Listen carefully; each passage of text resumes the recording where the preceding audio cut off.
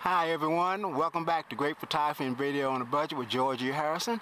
And today we are going to be doing handheld HDR photos on a bright, cloudless, 2 o'clock afternoon Friday day.